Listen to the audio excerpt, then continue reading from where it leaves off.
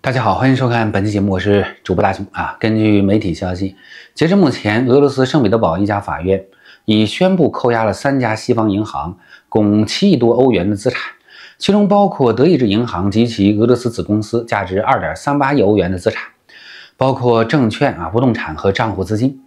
意大利裕信银行资产折合四点六三亿欧元啊。德国商业银行资产金额目前不详。这是自俄罗斯入侵乌克兰，促使大多数国际银行撤出或关闭在俄业务以来，俄方主动对西方银行采取的行动。原因可能有两点：一是啊，欧美正将已经冻结的俄罗斯在欧美资产用于支持乌克兰啊，其中包括冻结资产产生的利润和直接把冻结资产呢划转给乌克兰进行战争重建两种方式啊。二是近期啊，德意志等国加大了援乌的力度，大俄有点吃不消了啊，进行报复。此前，欧洲央行已通知在俄罗斯仍有业务的欧元区银行，采取措施啊，加快执行撤离俄罗斯计划。战争已经进行两年多了啊，一些金融企业老板呢还没有反应过来啊，也是有点迟钝啊。俄军再次对乌方民用目标进行轰炸，半岛电视台发消息说。俄军轰炸了乌克兰第二大城市哈尔科夫边缘的一处繁忙的湖滨度假胜地，并袭击了周边地区的村庄啊，又造成了至少十一人死亡，数十人受伤啊。简单回顾一下：十九日晚上，乌克兰武装部队海军使用了美方援助的陆军战术导弹系统，摧毁了俄军黑海舰队部署在克里米亚的最后一艘导弹艇。该消息啊，已得到了乌克兰海军发言人普莱滕丘克的确认啊。克里米亚峰小组发布的街景图像显示啊，五月二十日，塞瓦斯托波尔的军事海滨以及齐克隆导弹艇没有出现在它的正常栖泊处。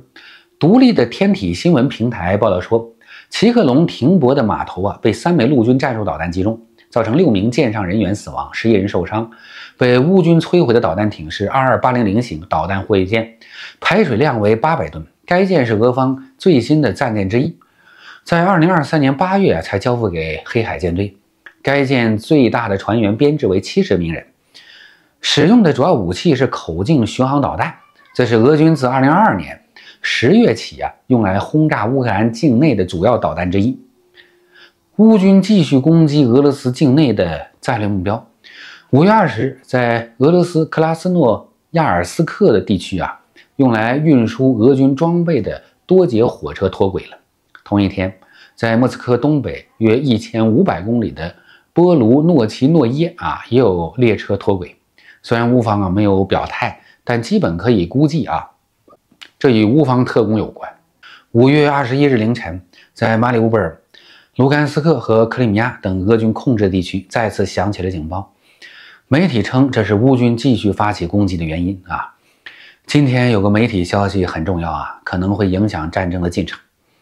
现在分享给大家啊，乌克兰国家安全与国防委员会秘书亚历山大·利特维年科五月二十日在向波罗的海地区论坛与会者致辞时表示，乌方意识到战争啊将通过谈判结束。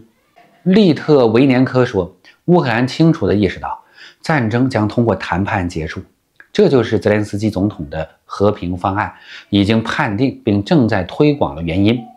二零二四年六月在瑞士举行和平峰会啊，也将讨论这个和平方案啊。”泽连斯基的发言人谢尔西·尼基弗罗夫也表示，将于六月十五日至十六日在瑞士举行的啊和平峰会。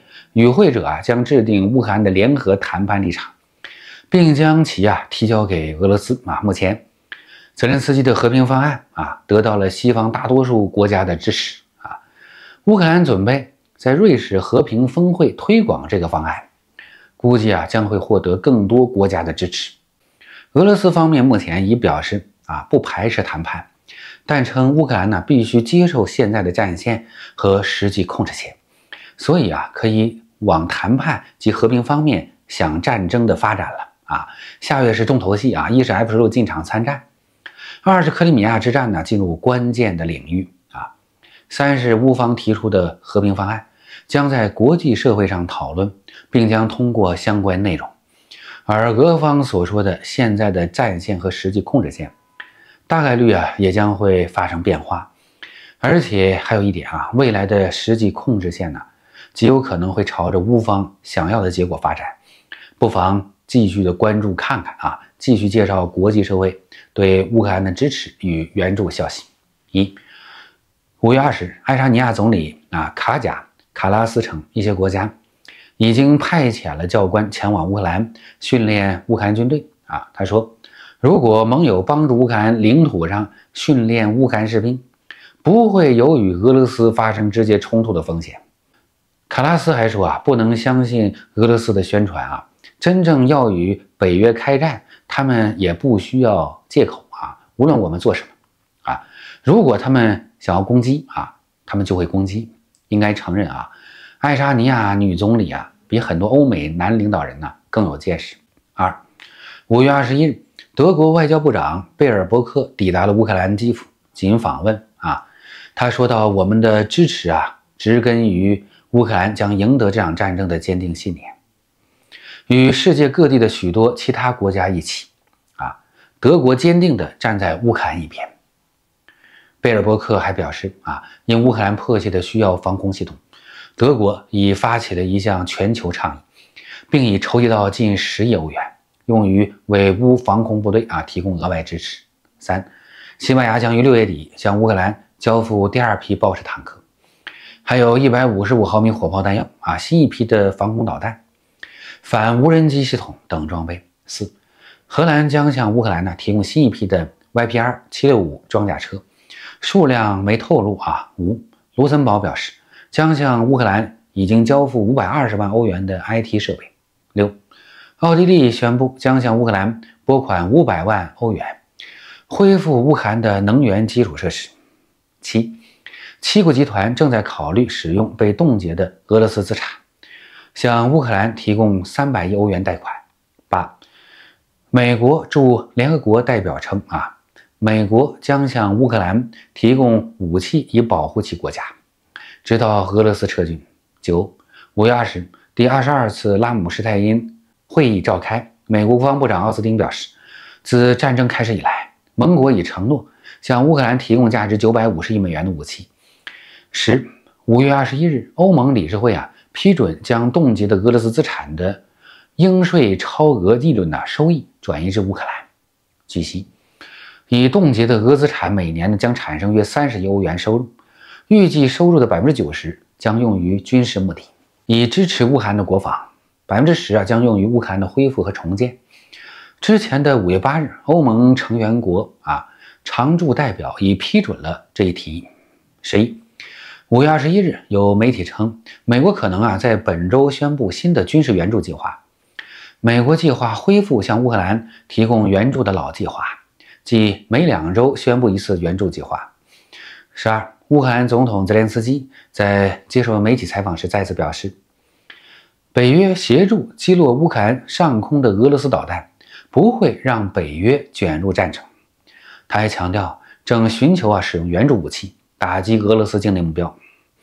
以下介绍前线最新战况：哈尔科夫军政管理机构宣布，乌克兰军队现在啊控制着沃夫昌斯克约百分之六十的地区，但激烈的战斗啊仍在进行中。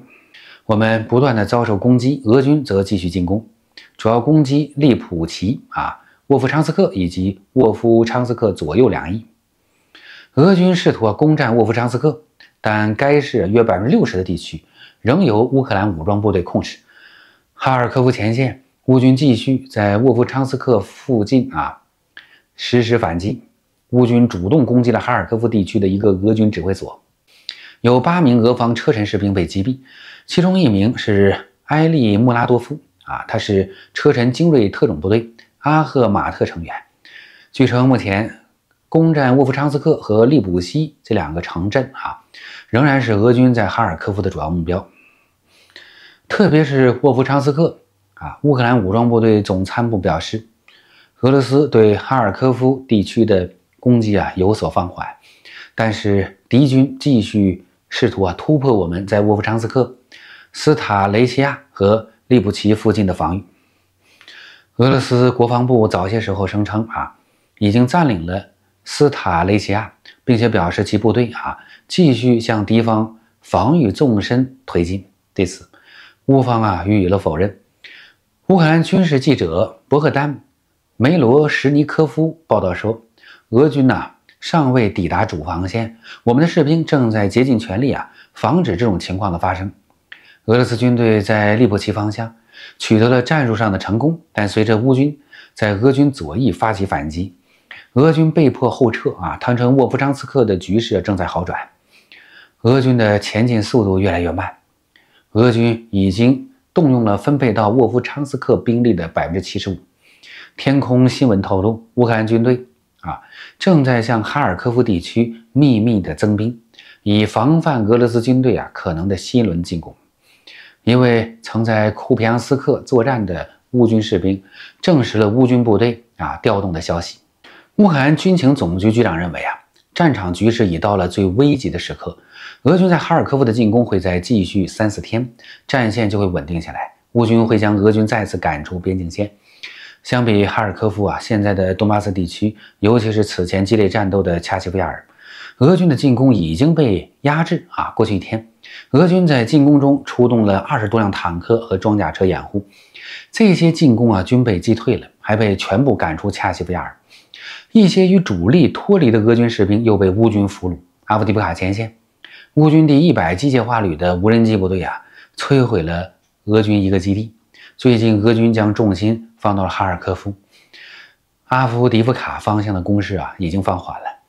卢甘斯克前线一天来啊，乌军发动在比洛格里夫卡战场发起反攻，已在该镇北方的西普利夫山丘附近呢，取得了不错的进展。